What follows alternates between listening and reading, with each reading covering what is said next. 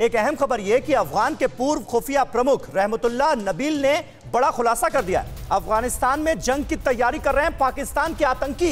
ये कह रहे हैं नबील, रोज़ाना एक हज़ार पाकिस्तानी आतंकी पहुँच रहे हैं अफ़गानिस्तान। बाकायदा डिटेल दी गई है। तालिबान से मिलकर अफ़गानिस्तान में घुसपैठ की तैयारी में है पाकिस्तान के आतंकवादी। ये कहा गया है बाकायदा स्टेटमेंट में और अपने आप में शुभांकर, ये बड़ा स्टेटमेंट है। बिल्कुल बिल्कुल, और भले ही आरज़ू ना मान रही हो, लेकिन तालिबान सिर्फ़ पाकिस्तान है और दुनिया देख रही है। एक हज़ार पाक आतंकवादी हर दिन अफ़गानिस्तान के अंदर प्रवेश कर रहे हैं, घुसपैठ कर रहे हैं। ये बड़ी बातें निकलकर सामने आई हैं। पाकिस्तानी आतंकवादी स्पिन बोल्डक से अफगान में एंट्री कर रहे हैं। तो देखिए, जगह भी सामने आ रही है। स्पिन बोल्डक में पिछले हफ़्ते तालिबान ने कब्जा किया था। और वहीं रास्ते से यहाँ एंट्री करवाई जा रही है। अफ़गानिस्तान की सुरक्षा फ़िलहाल खतरे में है। ये बात भी रहमतुल्लाह नबील साहब ने कही है। तो ये तमाम बड़ी बातें अफ़गानिस्तान, पाकिस्तान में एंट्री का मुख्य केंद्र है स्पिन बोल्डक इस रास्ते से एंट्री हो रही है। स्पिन बोल्डक करना होगा दोबारा कब्जा। ये बात रहमतुल्ला नबील साहब की तरफ़ से कही गई है। तालिबान की वर्दी में और पाकिस्तान लड़ाके करेंगे घुसपैठ। ये बात भी नबील ने कही है। तो ये तमाम बड़ी बातें जो है, एक बार फिर मेहमानों की तरफ़ रुख करते हैं।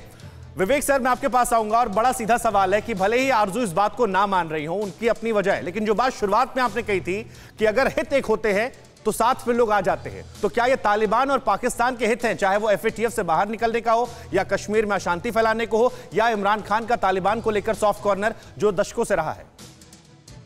देखिए, पाकिस्तान का हमेशा से एक इच्छा रही है कि काबुल में एक ऐसी सरकार हो, जो उसकी बात माने, खास तौर से वो सरकार अपनी भारत नीति पाकिस्तान के इशारे पे चलाए अभी तक कोई भी अफ़गानिस्तान की सरकार ने ये स्वीकार नहीं अब अब पाकिस्तानी ये समझते हैं कि अगर वहाँ पर ता, तालिबान की सरकार आ जाएगी या तालिबान की सरकार अफ़गानिस्तान की राजनीतिक व्यवस्था में शामिल हो जाएगी तो फिर उसका रवैया भारत के प्रति उस सरकार का रवैया कुछ नकारात्मक हो जाएगा। ये उनका एक मुख्य उद्देश्य हम्म। रहा है।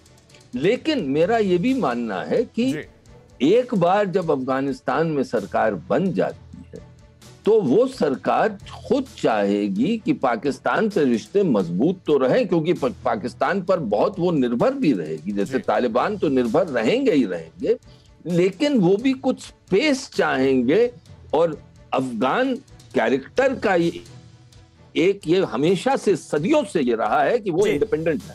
वो अपने फैसले खुद लेना चाहते हैं। हम्म। तो अगर ये स्थिति बनी तो फिर भारत को भी डिप्लोमेटिकली स्पेस मिलेगी। और इसीलिए मैंने अर्ज़ किया है बहुत सालों से कि भारत को खुल के तालिबान से बातचीत करनी चाहिए। इसके माने ये नहीं कि हम तालिबान जो कर रहा है उसको हम्म। मंजूर करें या तालिबान की जो वैल्यूज़ हैं उसको एक्सेप्ट करें लेकिन डिप्लोमेसी में बातचीत तो होनी ही चाहिए और तालिबान के नुमाइंदे ठीक है मनीष झा हमारे साथ मौजूद हैं तालिबान के नुमाइंदे भी हाँ। बार बार हम पहले हमसे हाँ। हमें इशारा करते थे कि हमें पाकिस्तान का कठपुतली मत समझो हम्म। अब स्थिति कुछ और है और उस स्थिति को समझना हमें पड़ेगा बिल्कुल, उस स्थिति को समझना पड़ेगा और आने वाले वक्त में जो आसार बनते हुए अफ़गानिस्तान में नज़र आ रहे हैं, उसके तहत उसको देखते हुए आपकी बात और ज़्यादा अहम हो जाती है काटजू साहब। लेकिन क्या इस बारे में मनीष वाकई सोचा जा रहा है? और तालिबान के बढ़ते प्रभुत्व को लेकर भारत की चिंता क्या है?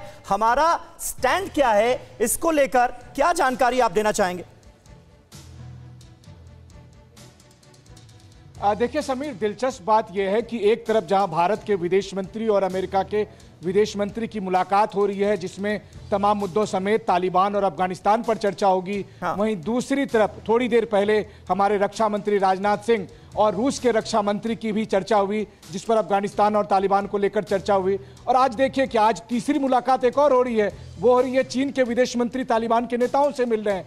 तो पूरा जो डिज़ाइन है अफ़गानिस्तान और तालिबान को लेकर हम्म। वो आज के ही इस तीन मीटिंग से आप समझ सकते हैं कि हम्म। कौन क्या सोच रहा है चीन तालिबान में मुल्ला बिरादर को किस तरह से उकसा रहा है हम्म। और हम किस तरीके से दुनिया के साथ मिलकर अफ़गानिस्तान के शांति प्रोसेस और तालिबान के को किस तरह से कंट्रोल करना है उसको लेकर बात कर रहे हैं। एक अहम बात मैं जोड़ना चाहूँगा कि इसके बाद जब विदेश मंत्री की मुलाकात के बाद जब अमेरिकी विदेश मंत्री प्रधानमंत्री से मिलेंगे तो उस समय अमेरिकी राष्ट्रपति का न्योता भी देंगे प्रधानमंत्री को कि प्रधानमंत्री नरेंद्र मोदी कब अमेरिका आएँगे क्योंकि राष्ट्रपति बाइडेन की यह इच्छा है कि क्वाड सम्मेलन सितंबर के आखिर में या अक्टूबर में करें और प्रधानमंत्री नरेंद्र मोदी स्वयं उसमें उस शामिल हो आकर। जी। ठीक है। बहुत शुक्रिया मनीष आपका हमारे साथ जुड़ने के लिए और ये ताज़ा अपडेट हमें देने के लिए।